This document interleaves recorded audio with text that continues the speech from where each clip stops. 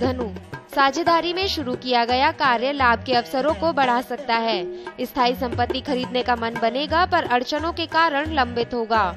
दाम्पत्य जीवन में विश्वास बढ़ेगा।